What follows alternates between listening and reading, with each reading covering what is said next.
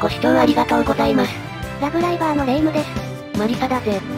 今回は、5月4日から始まった、集まれ、幼稚園ライブ、ガチャの10連と、ゴールデンウィークでいただいた無料10連などを見ていただきます。よろしくお願いします。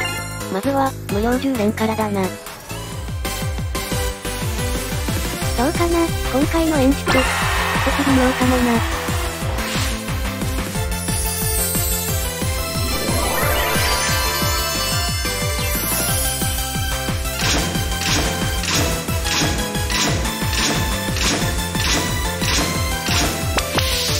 あ、これはやばいかも。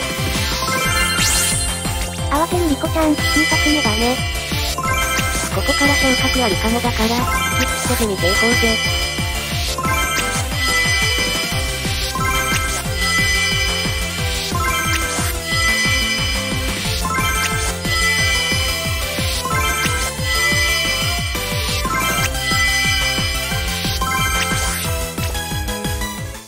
ーん、再生保証だけだったね。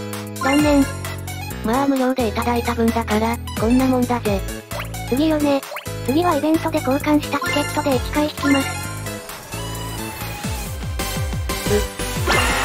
久しぶりに見た城のライブ会場だね。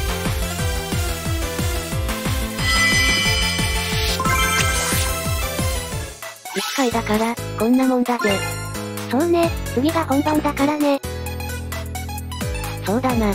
ところで、今回は誰が来てほしいんだ？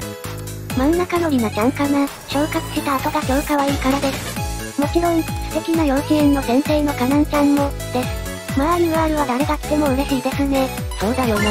こっちは全くないからな。最初の10連と一緒だね。まだわからんよ。最初と最後が金色。昇格してください。一緒に、一つのイヤホンで音楽が聴きたいマリちゃんです。そうだな。まるで恋人同士だな。